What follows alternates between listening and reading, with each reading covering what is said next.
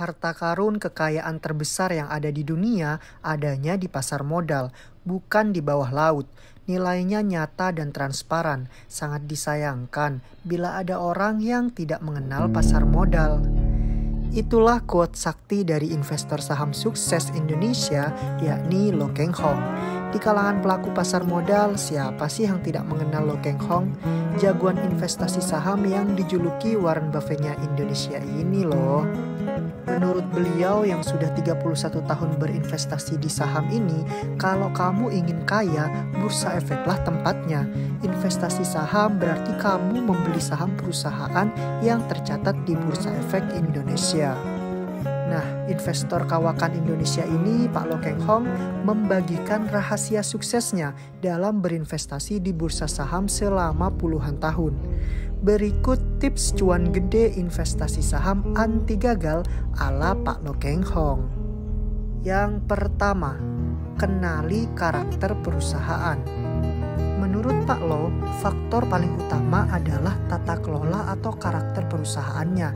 Bagaimana perusahaan tersebut mengelola perusahaannya dan memberikan dampak positif bagi kehidupan masyarakat. Tips cuan gede yang kedua yakni pilihlah emiten yang murah. Kalau kata Pak Lo sih, beli Mercy harga Avanza. Menurut Pak Lo, kita harus memilih perusahaan dengan rasio ROI yang tinggi. Apa itu ROI? ROI merupakan singkatan dari return on equity, yaitu pengembalian yang diperoleh perusahaan dari keseluruhan ekuitasnya. Jadi, ROI itu menunjukkan tingkat keuntungan yang didapatkan oleh perusahaan dengan rumus perhitungan tertentu.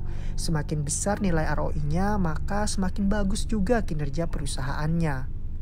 Menurut Pak Lo, perusahaan dengan nilai ROI 2 digit tentunya lebih menarik.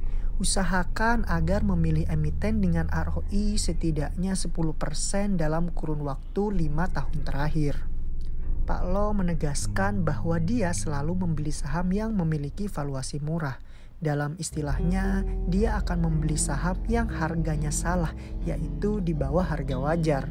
Ya seperti istilahnya tadi, beli Mercy harganya Avanza.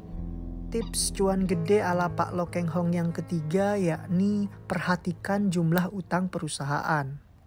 Menurut Pak Lo, selain keuntungan, posisi utang juga menjadi penting dalam sebuah perusahaan.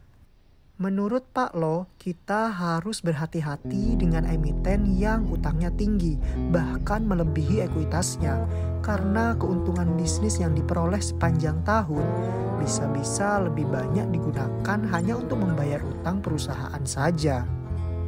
Untuk itu, penting sekali mempelajari kondisi keuangan perusahaan sebelum membeli sahamnya. Ini adalah salah satu poin yang kerap ditekankan oleh Pak Lo Keng Hong ketika memilih saham.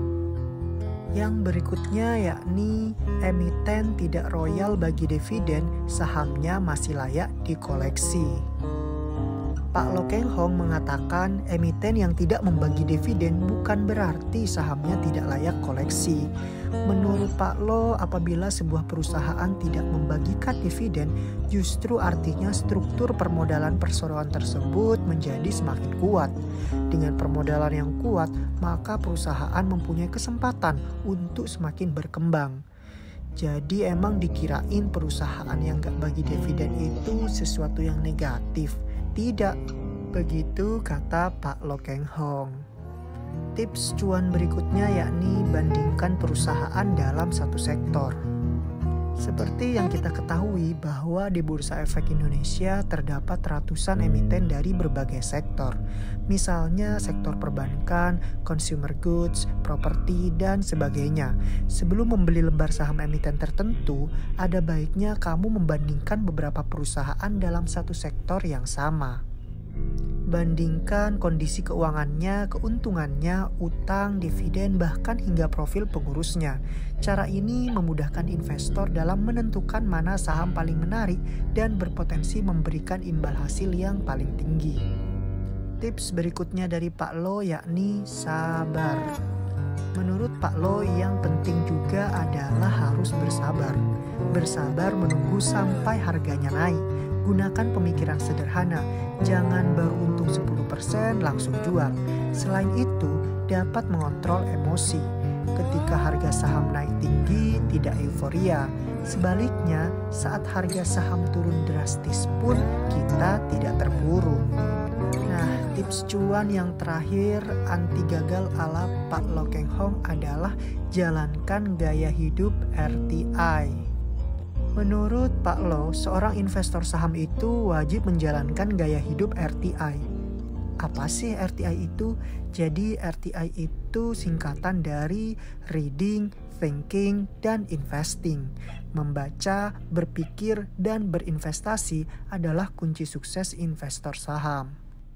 Membaca untuk mendapatkan pengetahuan tentunya, berpikir dan berinvestasi untuk mengasah skill. Kalau kebiasaan itu dilakukan secara terus-menerus, maka kamu akan menjadi investor saham yang bijaksana. Kalau pesan Pak Lokeng Hong, jadilah pelaku pasar modal yang berintegritas dan beretika, maka akan dihormati oleh masyarakat. Nah, sahabat pintar, itu tadi 7 tips cuan gede di investasi saham ala Pak Lokeng Hong. Kalau menurut sahabat pintar ada tips-tips lain yang gak kalah pentingnya untuk dapat cuan gede di investasi saham, boleh tulis di kolom komentar ya. Salam cuan sahabat pintar.